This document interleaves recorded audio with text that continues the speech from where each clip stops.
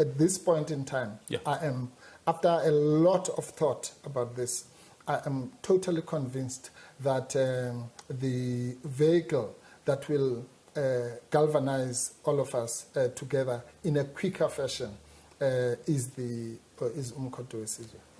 Have you informed the leadership of the EFF, particularly Julius Malema? Given that the, the nature of relations, I mean, you've always been with Together. them together. That, that's the reason why I'm asking. No, I haven't, uh, uh, to be fair, and, and I, I, have tried to reach out to him. Uh, but, uh, you know, it's not, uh, there's no need to inform anyone uh, at any particular time. I'm sure uh, there's no bad blood. So we will a, talk. as a we will- courtesy? Yes, as a courtesy, uh, I'll extend that courtesy even uh, after this announcement, and um, and I'm sure that uh, our paths will meet in this journey, this difficult journey for for unity. And um, so, you know, the, the, as I say, there's nothing personal in this at all. Uh, it's not anything that is being done against a particular person. It's something I'm doing for my people. What's up, Buzz fam? Welcome back to Inside Buzz, where we bring you all the hottest tea on the juiciest topics.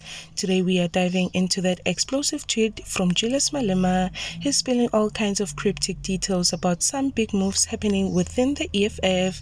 If you thought the political drama was cooling down, think again. It's just getting started. So grab your popcorn because this one is for the books.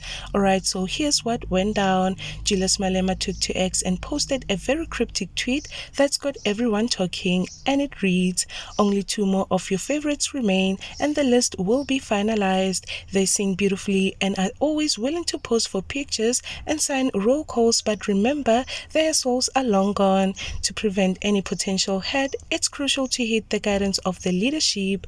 We remain standing and are not going anywhere under a criminal syndicate. Let's unpack that. Malema is clearly throwing shade at some former EFF members who've recently left, but he's hinting that two more are on the verge of leaving too. He describes these people as singing beautifully, almost like they are all smiles in public, but he says their souls are long gone. That's some heavy shade. It sounds like he's suggesting that they are just putting on a show with no real loyalty left for the EFF. And he didn't stop there. Malema called on his supporters to listen to the guidance of the leadership. Sounds like he's warning everyone not to be swayed away by those leaving the party, right? Then he took it one step further, calling out what he referred to as a criminal syndicate. It's like he's saying the EFF isn't budging, no matter who's switching sides. Malema is not here to play.